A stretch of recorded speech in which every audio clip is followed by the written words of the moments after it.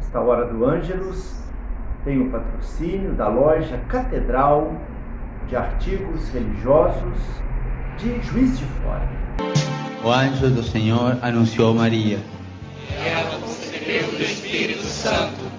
Ave Maria, cheia de graça, o Senhor é convosco. Bendita sois vós entre as mulheres. Bendito é o fruto de vosso ventre, Jesus. Santa Maria, Mãe de Deus, rogai por nós, pecadores, agora e na hora de nossa morte. Amém. Eis aqui a serva do Senhor. Faça-se em mim segundo a vossa palavra, Rogai por nós, Santa Mãe de Deus, para que sejamos dignos das promessas de Cristo. Amém. Oremos. Infunde, Senhor, em nossos corações a vossa graça. Vos suplicamos, a fim de que, conhecendo a anunciação do anjo e a encarnação de Jesus Cristo, vosso Filho, pelos merecimentos de sua paixão e morte, cheguemos à glória da ressurreição. Pelo mesmo Cristo, Senhor nosso. Amém. Glória ao Pai, ao Filho e ao Espírito Santo. Como era no princípio, agora e sempre. Amém. Peçamos à Mãe querida que ela nos introduza nesta santa palavra, que ela nos faça, nos ajude a ouvir, a obedecer e a praticar esta santa palavra. Esta é uma hora de Maria, que ela seja a nossa mestra nessa escuta e obediência à santa palavra. Exemplo ela já é. Pedimos que possamos aprender a lição. Colhamos agora a santa palavra do Evangelho de Lucas. Vendo Jesus aquela mulher encurvada, chamou-a e disse-lhe: Mulher, estás livre da tua doença.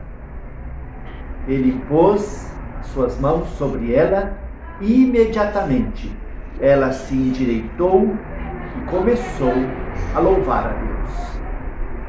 Jesus impôs suas mãos sobre a mulher encurvada.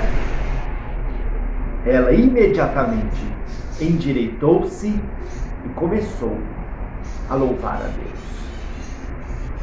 Amada irmã, amado irmão, esta mulher estava amarrada, aprisionada a esta doença terrível há 18 anos.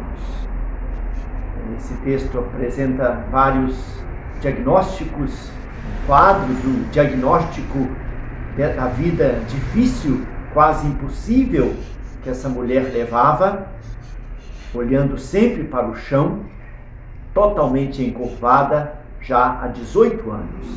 Mas era uma pessoa cheia de Deus, cheia de disposição para a graça, e logo Jesus viu isso.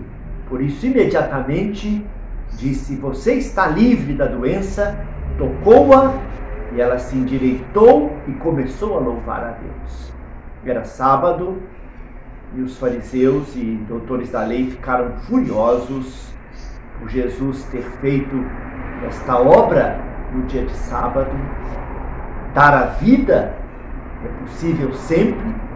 Jesus também é Senhor do sábado, mas nada disso os fariseus e doutores da lei querem entender, por isso ficam furiosos. Furiosos como quando Tiago e João queriam o primeiro lugar, também os discípulos ficaram furiosos. Furiosos também ficaram os fariseus quando aquela mulher derramou aquele perfume que valia uma fortuna, uma pequena fortuna aos pés de Jesus, também eles ficaram furiosos. Em uns, a obra de Jesus gera fúria, indisposição, mas em outros gera louvor. Queremos louvar a Deus por todas as suas obras, o mesmo louvor que brotou da boca do centurião quando ele viu o milagre da cruz. O milagre mesmo que temos é o milagre da cruz. O milagre que aquela mulher viu ali, enquanto foi curada e libertada, já era o milagre da cruz. Só o milagre da cruz nos liberta e nos livra da terrível escravidão e amarras do pecado. Pedimos a graça de Deus que possamos abraçar a cruz e sermos agora livres dessas amarras que nos encurvavam possamos erguer nossos olhos para os céus e louvar a Ele pela nossa salvação, pelo mistério da cruz, por esta santa palavra que nos sustenta no dia de hoje. Que venha da cruz do Senhor, sobre nós e nossas famílias, sobre o nosso segundo sínodo, venha a bênção do Pai, do Filho e do Espírito Santo. Amén.